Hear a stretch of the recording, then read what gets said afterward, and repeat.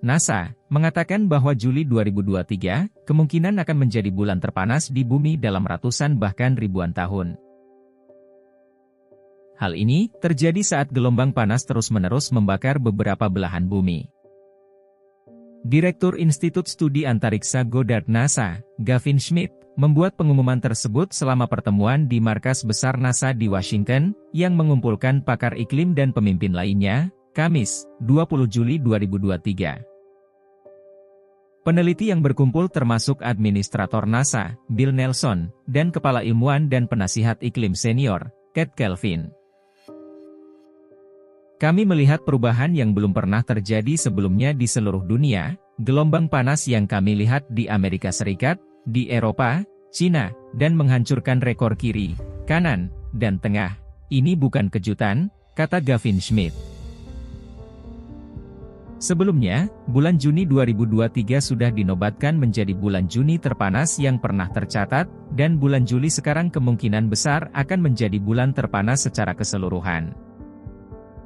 Kita tahu dari ilmu pengetahuan, bahwa aktivitas manusia, terutama emisi gas rumah kaca, secara nyata telah menyebabkan pemanasan yang kita lihat di planet kita, kata Kate Kelvin. Para ilmuwan NASA mengklarifikasi, bahwa data yang dikumpulkan dan dianalisis oleh lembaga tersebut telah mengarah ke sana. Telah terjadi peningkatan suhu satu dekade ke dekade selama empat dekade terakhir, kata Gavin Schmidt. Badan Antariksa Amerika Serikat tersebut, terakhir kali melihat lonjakan suhu pada Juli dan Agustus 2016, karena peristiwa Super El Nino, yang terjadi pada musim dingin 2015 hingga 2016. Gelombang panas yang terlihat saat ini, disebabkan oleh kehangatan secara keseluruhan di seluruh dunia, terutama di lautan.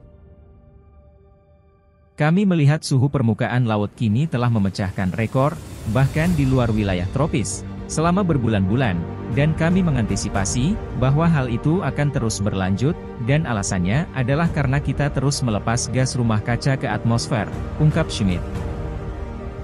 Ilmuwan terkemuka NASA itu juga mengatakan, adanya peluang 50 banding 50, bahwa tahun 2023 akan menjadi tahun terpanas dalam sejarah.